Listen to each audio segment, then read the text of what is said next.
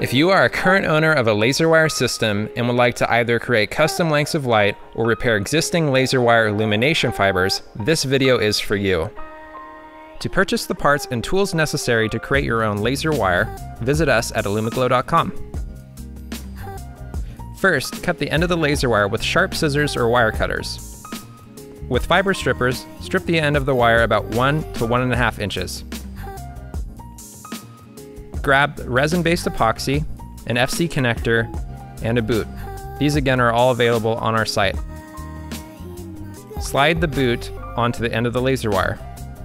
Next, feed the wire through the FC connector, making sure it feeds through smoothly. Next, grab the resin and hardener and mix them to a 50-50 ratio.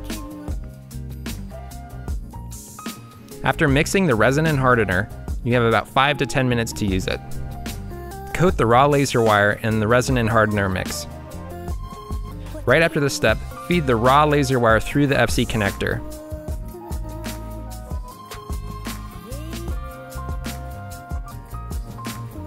Now we'll wait about 15 minutes for the glue to harden before we proceed to the next step. After waiting 15 minutes, use the fiber scribe to score the glass core and cleanly break near the base of the FC connector.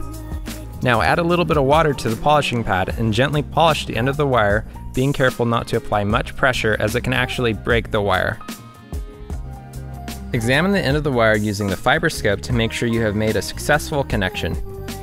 The last step is hooking this up to your Opal Drive, and now you're up and running. For more product and informational videos, subscribe to our YouTube channel or visit us at ellumiglow.com. Thanks for watching.